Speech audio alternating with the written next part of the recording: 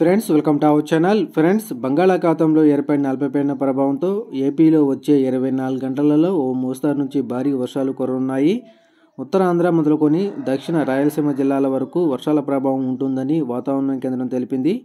ఉరుములు పిడుగులతో కూడిన వర్షాలు పడే అవకాశం ఉన్నందున ప్రజలు అప్రమత్తంగా ఉండాలని సూచించింది.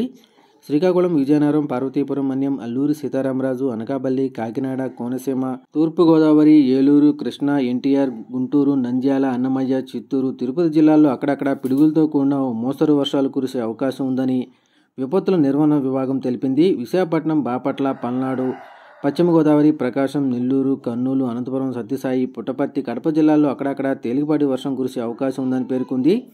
ఉరుములు పిడుగులు పడే అవకాశం ఉన్నందున ప్రజలు అప్రమత్తంగా ఉండాలని తగిన జాగ్రత్తలు తీసుకోవాలని సూచించింది.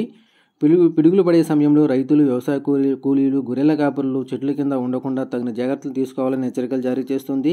తెలంగాణలోనూ రాగల ఇరవై నాలుగు గంటలలో తేలికపాటి నుంచి మోస్తరు వర్షాలు కురిసే అవకాశం ఉందని హైదరాబాద్ వాతావరణ కేంద్రం తెలిపింది. ఆదిలాబాద్ ఆసిఫాబాద్ మంచిర్యాల జగిత్యాల రాజన్న సిరిసిల్ల కరీంనగర్ జయశంకర్ భూపాలపల్లి ములుగు జిల్లాల్లో తేలికపాటి నుంచి మోస్తరు వర్షాలు కురిసే అవకాశం ఉంది. పలుచోట్ల ఉరుములు మెరుపులతో కూడిన వర్షాలకు అవకాశం ఉందని వాతావరణ శాఖ తెలియజేస్తుంది. ఈరోజు ఈ వీడియో మీకు నచ్చినట్టయితే మా వీడియోని లైక్ చేసి షేర్ చేయండి.